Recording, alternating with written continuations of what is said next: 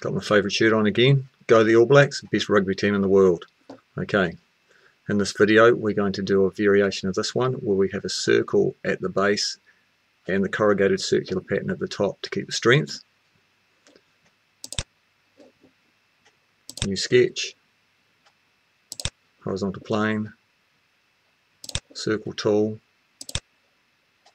make that 150 finish sketch, construct an offset plane off the base, and go up 180, enter, click on home, new sketch, go into construction for a construction circle, make that 210 go off construction and use the spline tool to create some corrugations. Zoom in.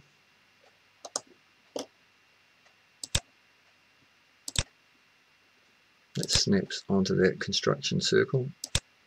This is just a bit of guesstimation. Take it off. Cancel that. Now I can manipulate this.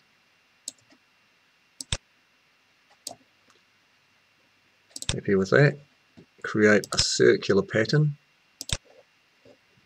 Select the objects.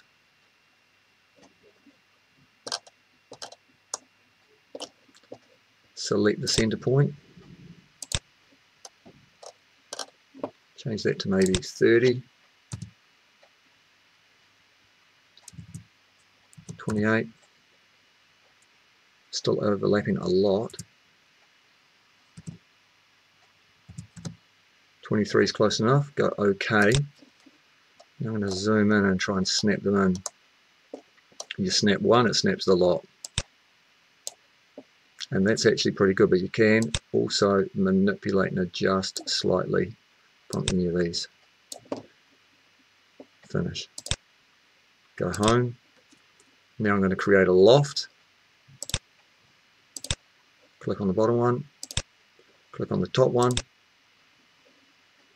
Fantastic. Get rid of this guy. Okay. Now all I have to do is shell it out. Modify shell. I'll try 2. That looks okay. I'll beef that up to 3.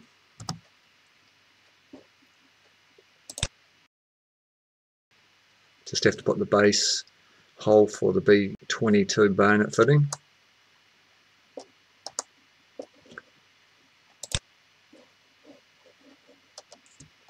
Rotate that over. I'm holding down the shift key and the mouse wheel to do the orbit. Create a sketch on the base. That was 29. Create a hole. 29. Enter.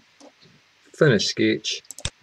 My computer's making a bit of a smoke here. I can hear the fan going hard out. Right, do the hole. Press pull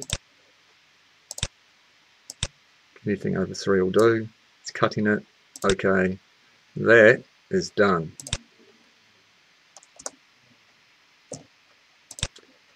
That was a quick video. Thanks for watching.